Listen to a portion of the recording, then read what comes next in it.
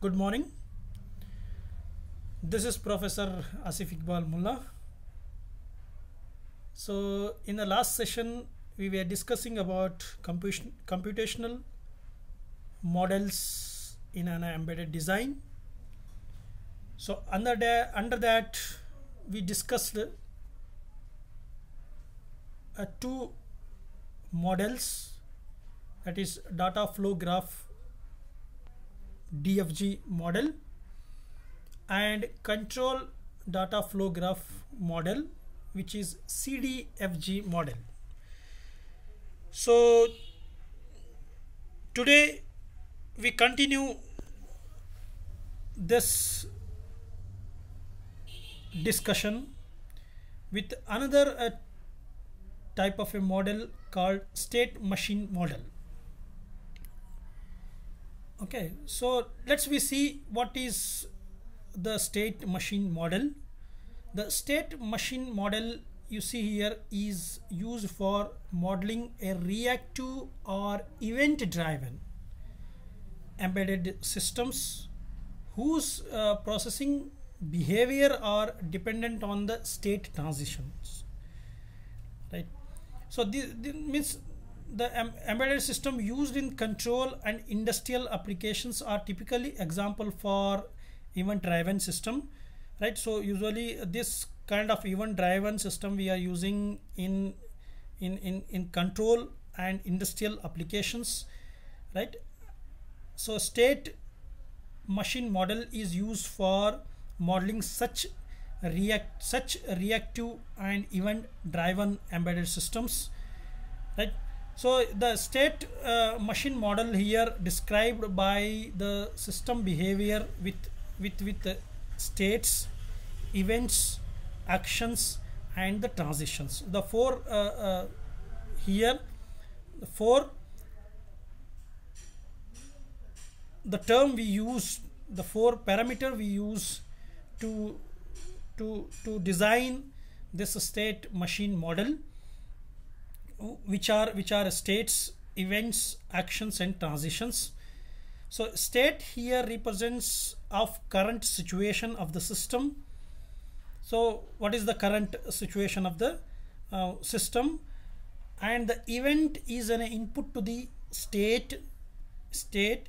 The event act as a stimulus stimulus or it, it, it is it is a it is a stimuli for the state transition to to go from one state to another state or to stay in current state.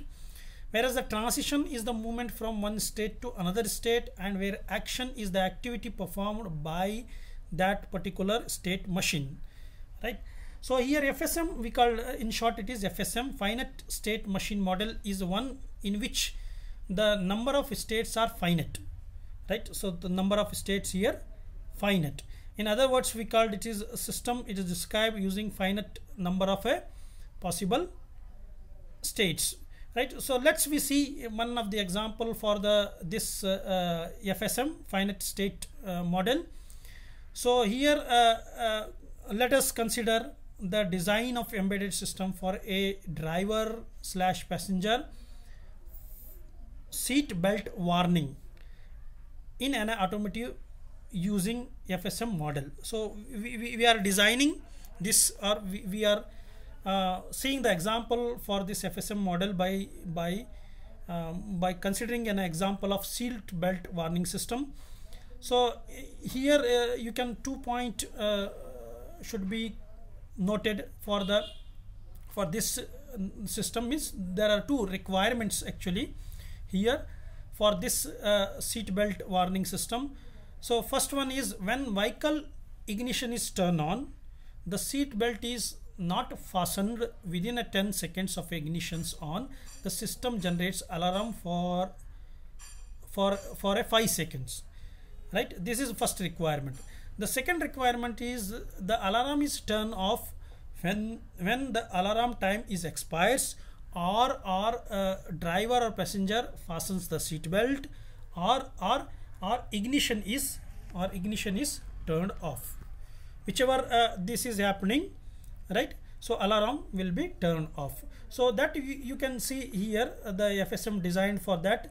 So here uh, actually uh, here states are alarm off alarm on and waiting. That is uh, that is described and given by circles right? Where where the arrow marks indicates the event happening. Okay? So here alarm off alarm on and waiting are the three states. Whereas ignition key on ignition key off seat belt is on alarm time expires right? See ignition uh, means time expires timer expire expires right? These are all are events. So uh, here um, actually what are the requirement actually here is so requirement is there whenever you go and switch on the ignition means when you on your vehicle right? So alarm here this system this alarm warning system will wait for a 10 second right? So within a 10 second if if you not not put a belt right? Alarm is get on right? It's it's get on after 10 second. Means it will wait for a 10 second. So till 10 second if you not put a, a seat belt so automatically the alarm will get on right? Right? So when once the alarm is get on right? Alarm beep will give you the 5 second right 5 second beep will be there. After 5 seconds right alarm will get off. Right. So if if within a 10 second if you put a seat belt alarm will not on. Right alarm will be off. Right or or if you if you switch off the ignition key means if you switch off the vehicle right so then also the alarm will off within a 10 second. That is our requirement. You see here so initially when you are enter into the vehicle so initial state is alarm off. You can see the uh, circle alarm off. So after you are entering into the vehicle you are start the ignition right? Ignition key is on. The vehicle starts so when vehicle starts right you can see ignition on key uh, the the arrow mark you see from alarm off to waiting. So when uh, ignition is on so the system will go into the waiting state. That waiting state for the 10 second right? So this 10 second within this 10 second if if if say you you put your seat belt that is seat belt is on event is occur or if, if you switch off the vehicle then what happened? The alarm will not on alarm will go off. You can see the uh, arrow mark from waiting to the alarm off. Waiting to the alarm off is happening for the two uh, things. One is ignition key is off and then seat belt is on. Suppose say if you not ignition key is off or seat belt is on within the 10 second so 10 second it will wait. After 10 second is over the timer expires. When time is expires for the 10 second then the alarm will on. It will come from come to the alarm on state from waiting state to alarm on state. You can see the uh, uh, arrow mark from waiting to the alarm on. So now uh, the system is in alarm on.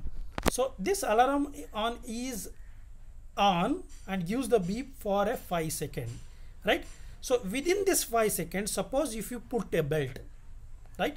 Or suppose you switch off the vehicle within this 5 second, then also alarm will get off, right? It will not give you 5 second beep, right? Soon after you put a belt or ignition key is off, it will go to the office of alarm off state.